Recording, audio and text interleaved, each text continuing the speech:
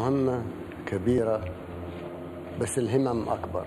تجسيدا لرؤية صاحب السمو الشيخ محمد بن راشد المكتوم نائب رئيس الدولة رئيس مجلس الوزراء حاكم دبي رعاه الله في مجال العمل الإنساني والتنموي والمجتمعي الهادف إلى تغيير واقع العالم العربي. انطلقت مؤسسة مبادرات محمد بن راشد المكتوم العالمية بتاريخ الرابع من أكتوبر من عام 2015 ولهذا قام سموه بإطلاق المؤسسة الجديدة والتي تضم أربعة قطاعات وهي مكافحة الفقر والمرض ونشر المعرفة.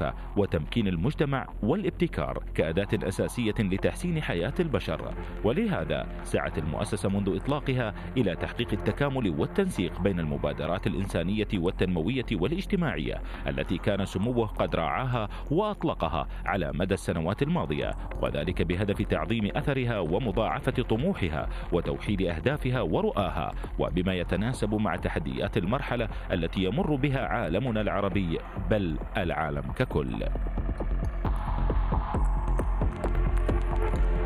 وتمثل المؤسسة اليوم وبعد عام على انطلاقها خطوة رائدة باتجاه مرحلة جديدة من العمل الإنساني العالمي الذي أصبح يقاد حول العالم من مؤسسات عالمية إنسانية ضخمة تتكامل فيها الجهود وتتوحد فيها الطاقات وتحشد فيها الموارد لتحقيق الأهداف وتماشيا مع هذا التوجه العالمي البناء تم إطلاق المؤسسة كمبادرة إنسانية وتنموية ضخمة تهدف إلى صنع الأمل في المنطقة وتخدم أكثر من 130 مليون إنسان في 116 حول العالم وتندرج تحتها 28 مؤسسة ومبادرة تنفذ أكثر من 1400 برنامجا تنمويا وبالتعاون مع ما يزيد عن 280 شريكا استراتيجيا ما بين مؤسسات حكومية وشركات من القطاع الخاص ومنظمات إقليمية ودولية.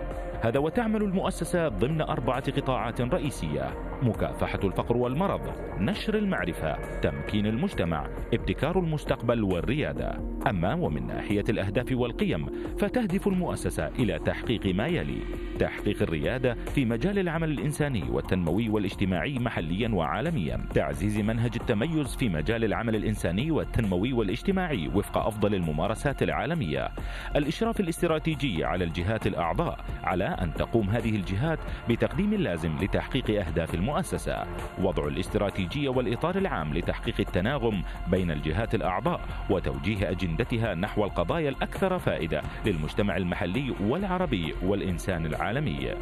إبراز الدور الذي تعمله المؤسسة والجهات الأعضاء على الصعيد المحلي والإقليمي والعالمي لتعزيز ثقافة العمل الإنساني والتنموي والاجتماعي تشجيع ثقافة العمل الإنساني والتنموي في العالم العربي من خلال تكثيف الترويج لجوائز الحاكم في المجالات المختلفة وبناء حماس مجتمعي للمشاركة والمساهمة في رؤية سموه الإنسانية. تحقيق التكامل للأهداف الإنسانية والتنموية لجميع الجهات الأعضاء بما يوضح أثرها العميق في مكافحة الآفات الثلاث التي تهدد المجتمعات اليوم وهي الفقر والمرض والجهل. ومن أهداف جديدة وطموحات كبيرة حتى 2025 في مكافحة الفقر والمرض حيث سيكون أمام 30 مليون شخص سيتم وقايتهم ومعالجتهم من العمى وأمراض العيون. استثمار ملياري درهم في إنشاء مراكز الأبحاث والمستشفيات في المنطقة. مليوني أسرة سيتم دعمها في 40 دولة. استثمار 500 مليون درهم في أبحاث المياه في المنطقة. ومن ناحية نشر المعرفة ومكافحة الجهل سيكون أمام 20 مليون طفل. سيتم دعم تعليمهم في 41 دولة إضافة إلى 10 ملايين كتاب. سيتم طباعته وتوزيعه. 500 مليون كتاب. سيتم قراءته. في برنامج تحدي القراءة العربي. مليار ونصف المليار درهم سيتم استثماره في مبادرات تعليمية ومعرفية. أما من ناحية تمكين المجتمع سيتم استثمار 600 مليون درهم في نشر ثقافة التسامح 150 مليون درهم جوائز لتشجيع المبدعين والمثقفين والإعلاميين. مليون مشارك في الجوائز والمنتديات سيتم استقطابهم في مجال تمكين المجتمع. 25 ألف عنوان سيتم ترجمته إلى اللغة العربية.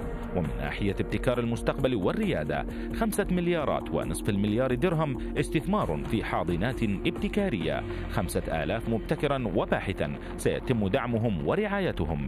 خمسين ألف من رواد الأعمال الشباب سيتم دعمهم وتدريبهم. دعم تأسيس شركات لتوفير خمسمائة ألف فرصة عمل. إذا فها هي مؤسسة محمد بن راشد المكتوم العالمية بعد عام من انطلاقها. أيمن مصبح قناة الظفرة